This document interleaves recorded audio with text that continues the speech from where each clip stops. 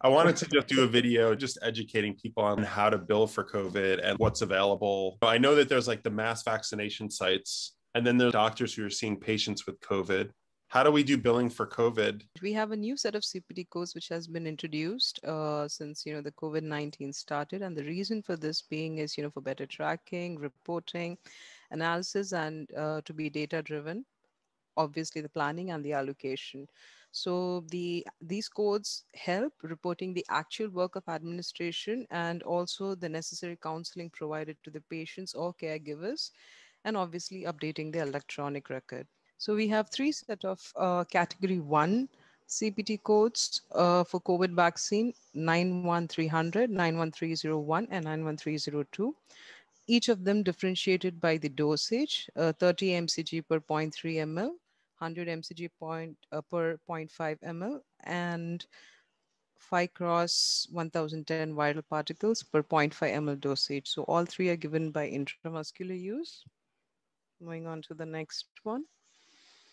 So these uh, uh, vaccination or administration codes, are specific to each vaccine or dosage given.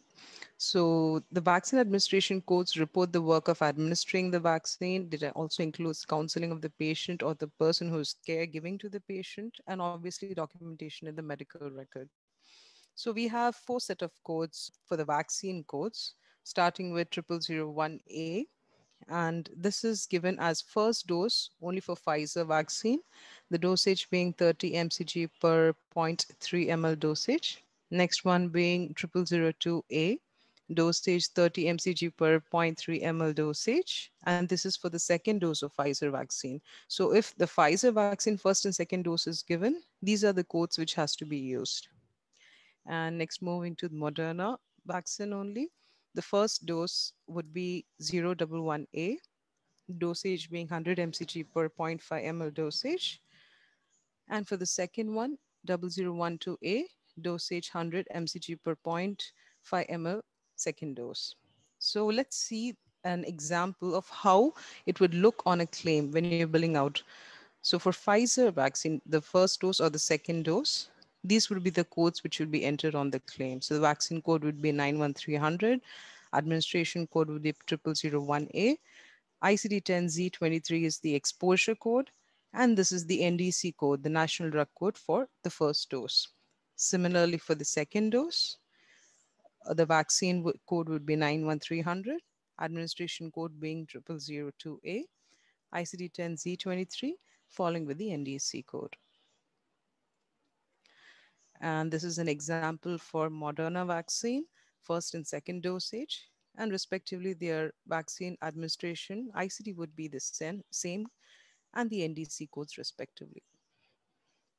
So this is like a clear representation. Uh, the COVID-19 vaccine and the administration, along with what you could see is the vaccine modifier, the SL modifier given. What has been presented over here is like the general guidelines overall. But if the providers wants to check, you know, how the reimbursement rates are state-wise, there is a link given in this PPT, which you can clearly see, and this will help uh, the practices and the providers to have a better understanding of what is allowed or how it could be billed or reimbursed in their specific states. And these are for the Pfizer first and second dosage, Moderna, AstraZeneca, and Janssen. We also have the differentiation by age-wise, 16 years of age and older, 18 years of age and older. What we have to note is the administration CPT codes are specific to each vaccine manufacturer and dosage. So the main question, how to bill for COVID-19 short administration. You could bill them each uh, patient each claim wise, or you can send them out as a roster bill for multiple patients. Only point to be noted here is that there is no other service provided, it's just the administration of vaccine. In that case, a roster bill could be done. Second point to be noted is when the COVID vaccine doses are provided by the government without charge, we need to bill only the vaccine administration code or the admin code.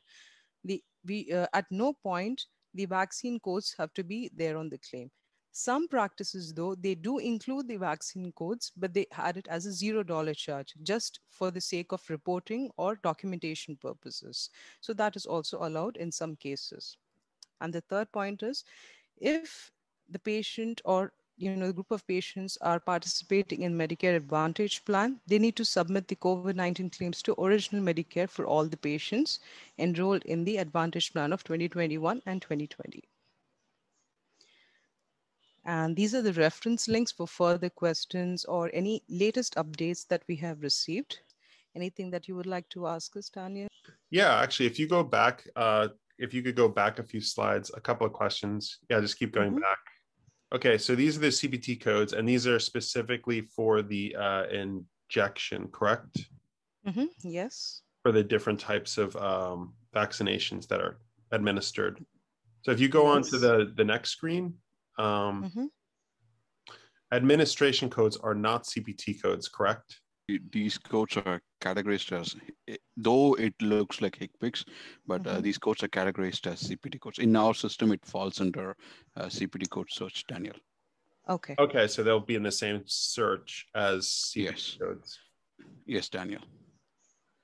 Okay, so they're really are they CPT codes or that they're like a subset or they're different, but they're in the same search? Now, usually CPT codes are like um, numeric codes. Most of CPT codes are numeric codes, though it looks like HCPCS codes, but uh, these codes are falls under CPT categorization. Got it. Okay, it's a CPT code. Okay, got it. Got it. Okay, so we need the administration code if it's from the government, but we don't need the CPT code. So say the government is giving it away for free. Uh, okay, for every, uh, for example, uh, for Moderna, for AstraZeneca, and then uh, for for another vaccination, for each uh, type of vaccination, like they have a unique CPT code, and then for for that specific uh, type of vaccine, there's a separate administration code. So when a provider bills, they have to bill the code which is for vaccination and also for administrating the for giving the vaccination to the patient there's a separate code, which is a administration code. They have to build both. But uh, since vaccination is free for uh, for all United States citizens, so you should not be charging anything for the vaccination. It has to go with uh, zero dollar charge. For administration, uh, Medicare rate is forty dollars, but uh, it varies. Uh, there I see like there's an insurance pays fifty dollars, sixty dollars. Uh, there are a few customers uh, of us, like they usually send the administration charge with $75. Based on their contract with the insurance company, the reimbursement varies. So they should be billing both uh, vaccination code, that's for the injection they're giving, and then administration for uh, for administrating uh, the vaccination, they have to use uh, the administration code. They have to bill both. Got it. Okay, so a CPT code means what I've done to the patient. It's the injection an administration code does that mean like the person administering it? Like i guess let me expand on like what that means. Is that similar? It's just like i guess they're paired? Okay CPT code okay both are CPT codes okay? Okay. Uh, one CPT code 91300 that's for the vaccination okay that's for the injection that's for the vaccination. And then uh, you see on the code 001a that's for administration that's for uh, that's for the that's for injecting that vaccination to the patient. For that service, you send a separate charge. Do you okay, always so you can? To... You, yep. Yeah. So since vaccinations are free, uh, the provider can bill the insurance company only for the administration, but still they have to report the vaccination code to the insurance. I see. But by free, you mean so? Say someone has I don't know Blue Cross. Mm-hmm and then they go get a vaccination. It's free to the patient, but not to the payer. Is that right? Uh, I think it's um, the provider cannot bill insurance for the vaccination. Provider can bill only for the administration. Uh, since okay. I think like vaccinations are supplied by government to the providers. Got it. Okay. So that really, okay. So, so like when I, um, if someone goes and gets their vaccination today and then a provider has the vaccination like on site and they administer it say it's uh, moderna mm-hmm. and the patient has blue cross just giving an example mm-hmm. patient goes in doctor in you know gives them moderna first dose yeah, yeah first dose then they would be billing 91301 okay. uh, with the charge of zero dollars because they got that vaccine for free from the government. Got it. And then for giving that vaccine to the patient for that service the doctor does, they would be uh, billing the code 0011A with the charge amount like uh, uh, that varies from practice to practice based on the geographical location.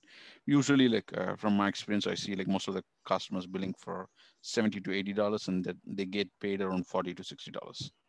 I see. So, so uh, the in this case, Blue Cross is paying out for the service, the actual doctor's time, yes. but they're not paying out for the vaccination code, like that's free yeah. from the government. So the government is giving those away for free to all people. Uh, yes, Daniel. Okay. Now, what what is the vaccination modifier? Like, what is that? Is there anything we should know about that, or what does SL mean, or or just um, is? It's it's a, states applied vaccination. That's what it means. The modifier is so. Okay. Does that change ever, or it's always the same? It's it's the same for all the vaccines.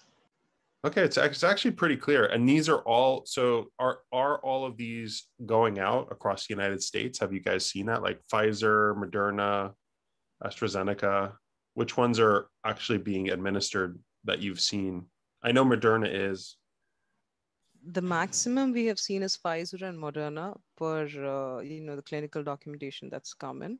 Okay. Uh, very rarely for our Janssen. AstraZeneca still not uh, got approval in United States. Brenda mentioned we're seeing only Pfizer and Moderna. And then uh, we might see some uh, Janssen, but AstraZeneca, I, think as of now, like they haven't uh, got approval in the United States. Got it. Okay, so we're just not. Um, is that out? so? The codes are there. It's prepped, so they created the codes. It's just not. They're not administering that one. Uh, yes, so as soon as uh, they get an approval in states or once uh, doctors start using it, they would be using those codes. So basically they can, from the schedule, they can just click on the appointment and then they can go to the billing tab. And then here in the CPT codes, they can enter the code 91301, uh, which I believe it's for Pfizer. Okay. And then um, here they can pick the modifier SO and pick up this administration code. Okay. Okay. So there's certain insurance which does not accept zero dollar charges. So I suggest like putting just one cent. And then for oh, administration. So, okay. So DrChrono doesn't accept zero charges right now? Uh, yeah, we do. We transmitted, but uh, sometimes for certain payers, clearinghouse as instruction, they reject the claim uh, sometimes payer rejects the claim. So it's advisable just to use one cent so that it just goes through the claim scrubbing system. Got it. Okay. Okay. And then you enter the administration code. And then like, uh, I believe there's an NDC code for Pfizer.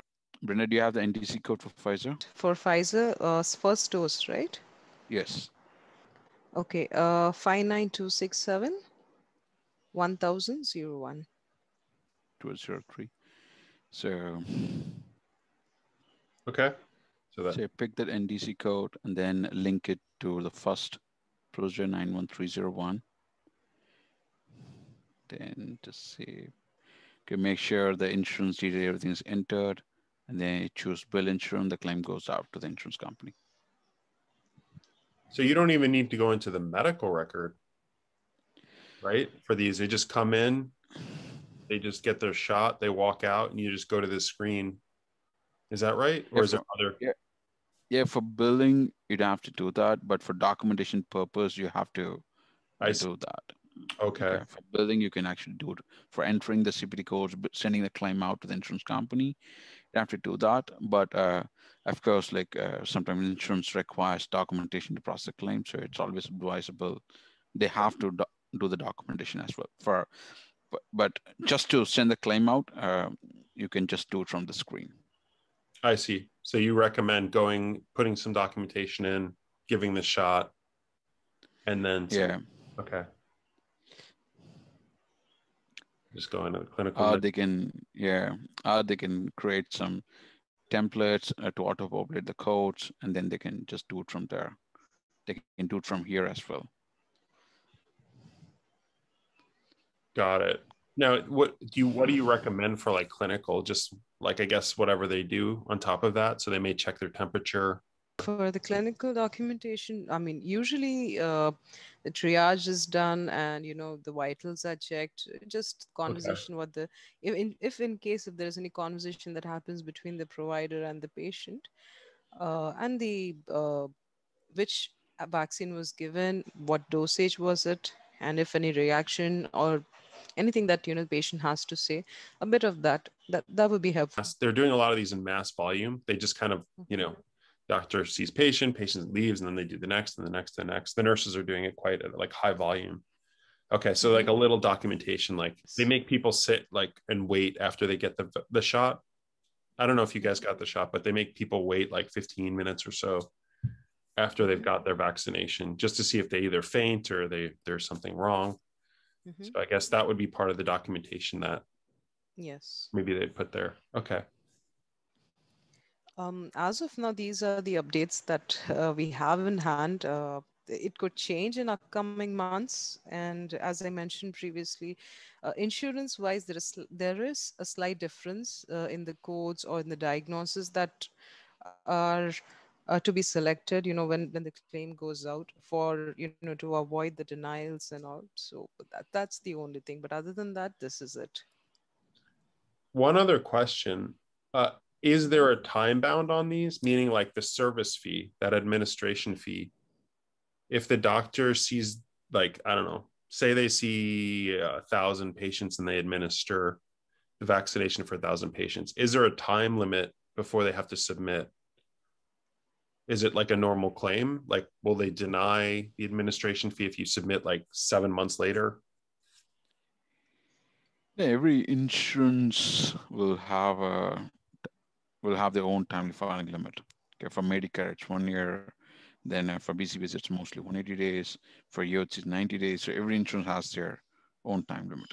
So within the time limit they have to submit the claims out. Okay or they'll lose their administration fee. Okay. Yeah. So they have to do it pretty quick. Okay. Um, okay, I think this was great, guys. Um, I think that was honestly all of my questions.